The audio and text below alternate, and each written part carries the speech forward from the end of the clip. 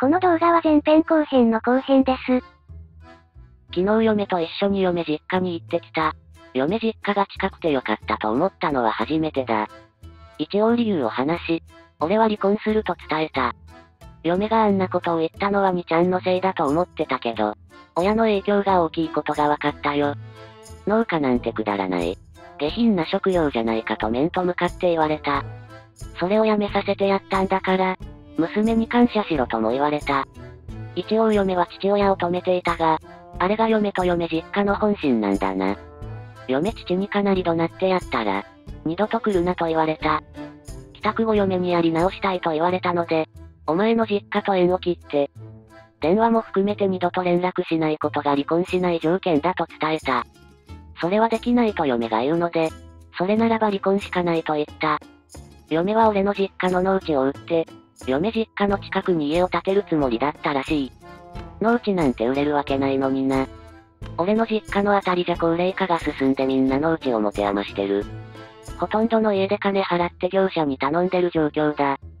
それにもし農地を売ったとしても、それは親の金であって俺のじゃない。独立してやっていきたい。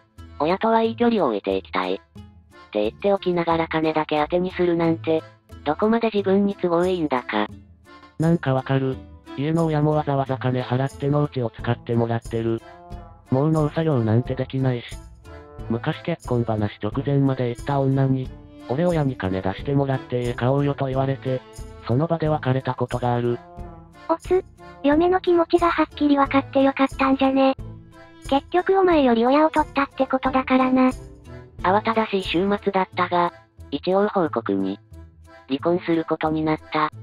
嫁は週末とりあえずの荷物を持って、実家に帰った。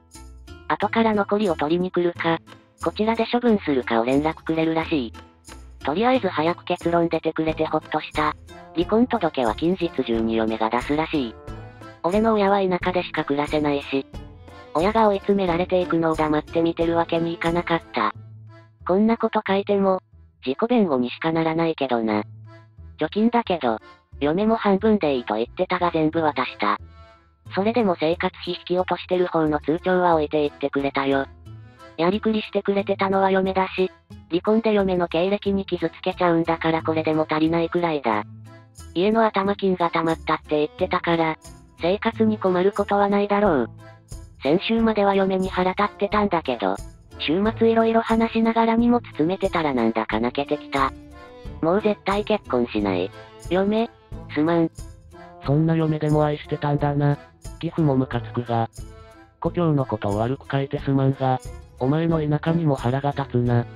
お前のこと何も知らんが、きっといいやつなんだろうな。何にしても人生これからだ。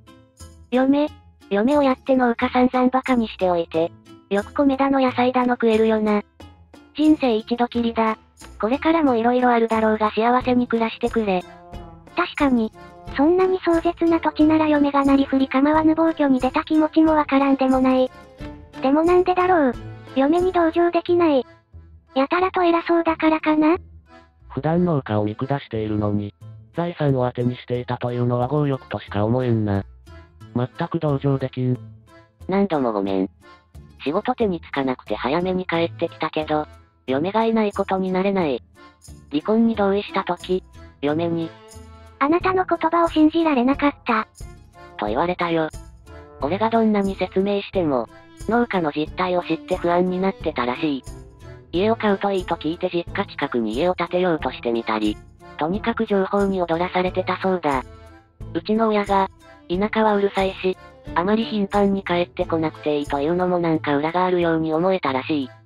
実家に帰省する時も、周りや親戚がうるさいからと近くの温泉の宿を用意されて、結局実家に泊まらずじまいだったけど、それもご機嫌取りされてるように感じたそうだ。俺や親が嫁の負担にならないように良かれと思ってやったことが、嫁には逆効果だった。逆に俺も嫁の気持ちをきちんと理解してなかった。色々説明してたけど、不安の本質まで分かってなかった。結局最悪の結果を迎えてから、お互い本音を言えたよ。休みを取ったので、実家に行って周りに頭下げてくる。親に電話したらまた母親に泣かれた。親を泣かすって、やっぱり親不孝だよな。今までレスくれた人、ありがとう。実家が農家っていうだけで、こんな思いするのかと思ってたので嬉しかった。嫁親はかなり偏見ある人だったけど、娘を思うあまりだったんだろう。嫁には幸せになってほしいと思う。俺が言えた義理じゃないんだけどな。お前みたいないい奴がどうして悲しい思いをしなければいけないんだろうな。お疲れさん。